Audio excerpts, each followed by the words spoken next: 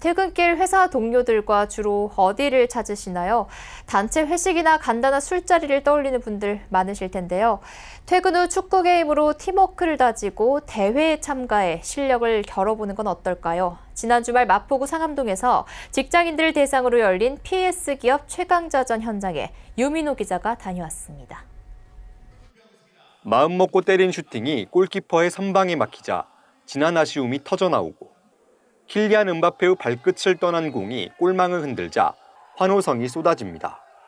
지난 주말 PES 코리아와 하랑 SP가 주최한 제1회 PES 코리아 기업 최강자전 오프라인 결선의 풍경입니다.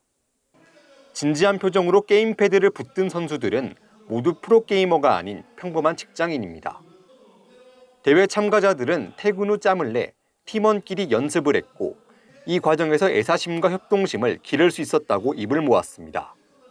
특히 GS 칼텍스는 그룹 오너 4세인 허준홍 부사장이 직원들과 함께 선수로 나서 눈길을 끌었습니다.